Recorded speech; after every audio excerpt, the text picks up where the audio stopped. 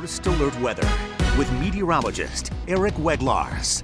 Happy Monday morning. The time right now is 6:14. Also, Merry Christmas Yeah. Eve.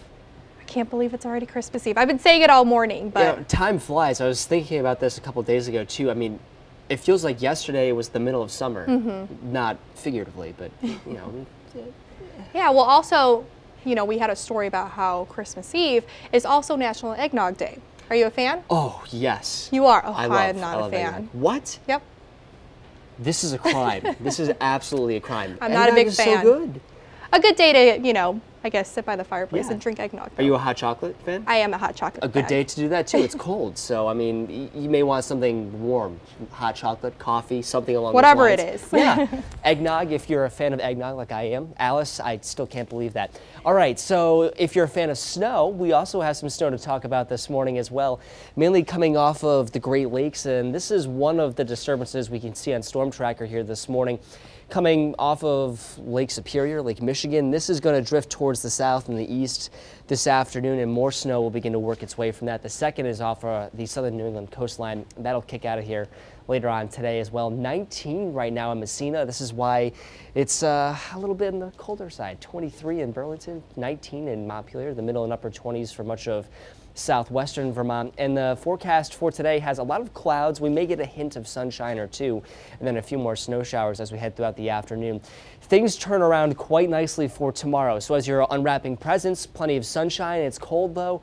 And it stays cold for a couple of days. We will be talking about a bit of an icy mess for the end of the week here in the form of some snow and rain.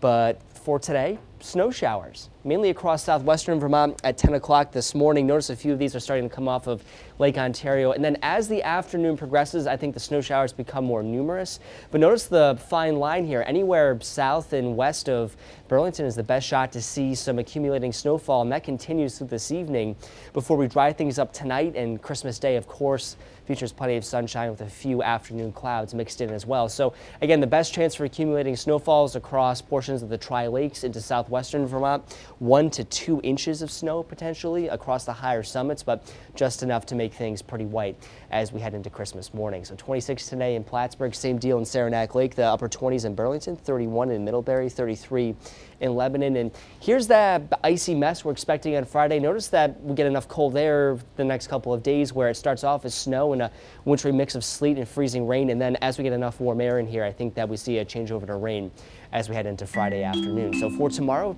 plenty of sunshine, temperatures in the middle 20s. We'll go to the freezing mark on Wednesday. It's a pretty dull day. We'll get a lot of clouds and a few peeks of sunshine in there. Wednesday afternoon. Thursday, any clouds give way to sun. We're in the upper 20s. And then look at this. We go to the middle 40s on Friday.